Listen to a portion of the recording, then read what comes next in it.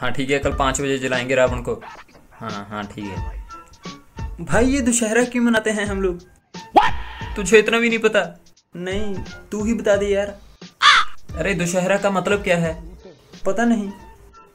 रावण के दस सिर थे तो दस सिर दशहरा दशहरा। दशहरा लेकिन हम दुशहरा मनाते क्यों हैं? चल मैं तुझे शुरू से बताता हूँ। तो हुआ ये कि जो रावण की बहन मोना थी, पर रावण की बहन का नाम तो कोई शिव पंखा था, वो पहले था, बाद में उसने नया आधार कार्ड बनवा के मोना नाम रख लिया अपना। फिर फिर जो मोना थी, वो अपने राम जी के भाई लक्ष्मण से दोस्ती करना चाहती थी। पर लक्ष्मण का पहले से ही गाँव के सरपंच की बेटी के साथ चक्कर चल रहा था। फिर फिर मोना इस बात से गुस्सा होगी उसने लक्ष्मण को व्हाट्सएप पे इंस्टाग्राम पे मैसेज किया कि मेरे साथ दोस्ती कर लो, मेरे साथ दोस्ती कर लो। एक मिनट उस जमाने में मोबाइल कहाँ था? तो मैंने कब कहा मोबाइल था? तूने अभी बोला ना। मैंने बोला था इंस्टाग्राम और व्हाट्सएप थे। मोबाइल तो मैंने बोला ही नहीं। अरे अगर मोबाइल ही नहीं होगा तो व्हाट्सएप और इंस्टाग्राम किस पे चलाएगी वो? मोना के पास मैकबुक प्रो था। अच्छा फिर? फिर मोना ने लक्ष्मण को बहुत मैसेज किए पर लक्ष्मण ने एक भी रिप्लाई नहीं दिया। फिर? फिर मोना दुखी होकर इंस्टाग्राम पे रीलें बनाने लग गई। फिर? फिर जब रावण को ये बात पता चली कि मोना लक्ष्मण से दोस्ती करना चाहती है तो रावण ने मोना को बोला कि, साली, तू हमारे परिवार का नाक कटवाएगी। फिर फिर वही बात हुई। लक्ष्मण ने मोना का नाक काट दिया।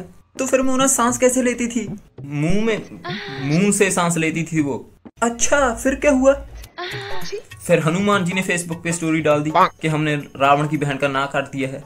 फिर फिर भैया, रावण ने हनुमान जी की स्टोरी देखी और रावण को आया गुस्सा। फिर?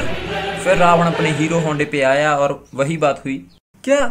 रावण का चलान काट दिया पुलिस वालों ने क्योंकि हेलमेट नहीं पहना था उसने। What? फिर क्या हुआ? फिर रावण ने सीता हरण बाज़ार से दस हेलमेट खरीदे। दस हेलमेट क्यों? दस सिर थे ना उसके इसलिए। हाँ फिर? फिर क्या होना था? रावण सीता जी को अपने हीरो होंडे पे उठा के ले गया। फिर?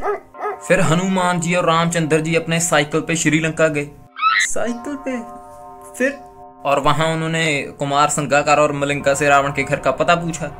फिर? फिर राम जी रावण के घर पहुँचे रावण कुर्सी पे बैठ के अंगूर खा रहा था। फिर? फिर राम जी ने अपना तीर निकाला और और और और रावण को हेडशॉट से मार दिया। तो इसीलिए हम मनाते हैं दशहरा। वाह यार तुझे कितनी नॉलेज है। अरे बेटा तेरा बारहवीं का रिज़ल्ट आ गया। पास या फेल। अरे बेटा, हिंदी में फेल है तू। हिंदी में फेल है तू। दुशहरे पे निबंध लिखना था, ये वो भी गलत लिखाया। क्या?